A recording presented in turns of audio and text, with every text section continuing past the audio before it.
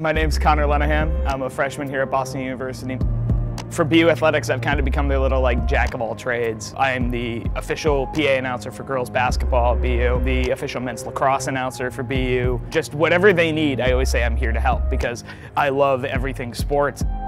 I have a condition called osteogenesis imperfecta. In layman's terms, just translates to brittle bones. I'm more fragile than most people would anticipate. I've broken 10 major bones. I've broken each of my shins four times combined.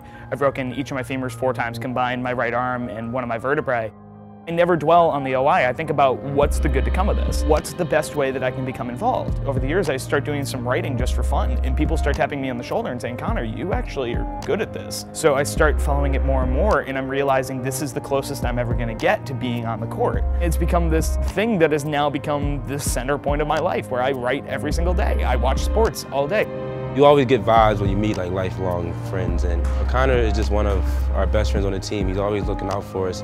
I didn't realize that through one semester, I would become like adopted by the team and like, know everybody possible, like to families of players. It goes without saying, that's like my family and my friends that I've grown up with are always there with me. But when they're not here and I'm all out on my own, I like, there had to be somebody there.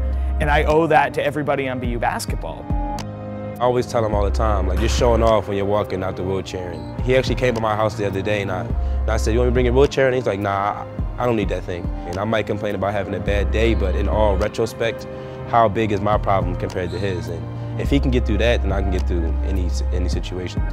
With the OI, it's an uncurable disease. So I'm never gonna be completely rid of OI, but it can get better. My goal is I don't want to break anything ever again. But if I do, the more and more this happens, the quicker I'll recover, the faster I'll be back up, and the more I'll be able to say that I am unbreakable. Like this is not gonna be able to beat me.